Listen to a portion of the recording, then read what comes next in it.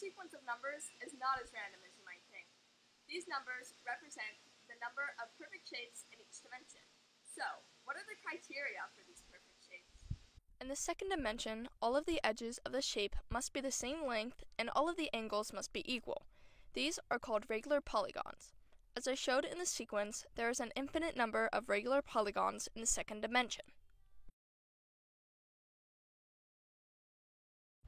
In the third dimension, each face must be a regular polygon of the same size and shape. Each vertice must be identical, and the shape must be convex. These are called regular polyhedra, or platonic solids. In the third dimension, there are five platonic solids. These are the tetrahedron, cube, octahedron, dodecahedron, and icosahedron. Perfect shapes and dimensions higher than the third require faces with lower dimensional regular polytopes of the same size and shape.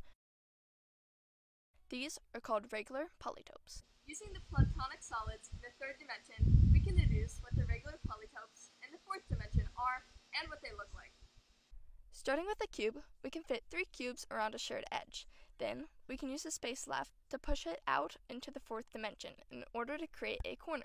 The hypercube is made of eight cubical faces. Now it looks like this cube is inside itself, but it is not that way in the fourth dimension. It only looks that way because we are not able to see any dimension higher than our own. Next, we're going to use the tetrahedron. We have to fit three around a shared edge to create a corner. Once we do that multiple times, we create the hypertetrahedron. The hypertetrahedron is made of five tetrahedral faces. We can also put four tetrahedra around a shared edge to create a new corner. This corner, used multiple times, creates a hyperoctahedron made of 16 tetrahedral faces. Five tetrahedra around a shared edge and create the hypericosahedron.